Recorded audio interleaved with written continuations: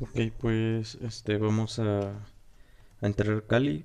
Eh, esta es la versión de Kali que está a partir del 2020. Creo que, si no recuerdo bien, es en octubre. Digo, si mal no recuerdo.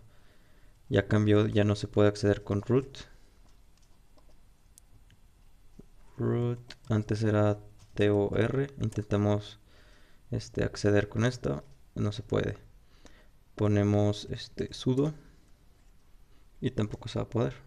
Entonces tenemos que poner Kali, Kali para poder entrar. Entonces, eh, bueno, este usuario por defecto no es de root. Ahorita lo vamos a ver en la terminal. Entonces abrimos una terminal y ahorita vamos a ver que no se puede actualizar ok aquí tenemos Kali como Kali y pues bueno vamos a ponerle um, apt guion es guion get update. Y nos dice permission denied. Entonces bueno ahí ya ya sabemos que que pues no se puede porque no tenemos privilegios de root entonces vamos a poner el comando sudo su para este, hacer un usuario root. Entonces tenemos Kali de contraseña.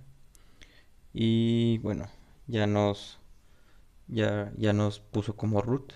Entonces ahora pues vamos a ponerle passwd root. Y nos deja cambiar el password entonces yo voy a poner el que estaba, debería estar por default.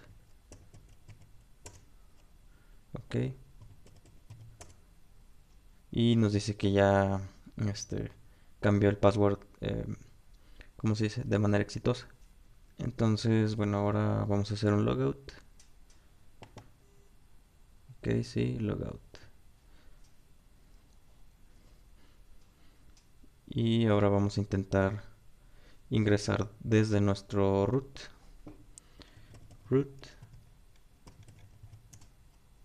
Ok y ya nos va a dejar. Ahí va a cargar la, otra vez el sistema operativo. Entonces em, vamos a abrir una terminal. Ah, debe estar aquí. Más que no como que no se ha cargado. Aquí está. Bueno aquí va a cargar. Aquí debería estar el de la terminal Bueno, si no, vamos a ponerle Open Terminal here.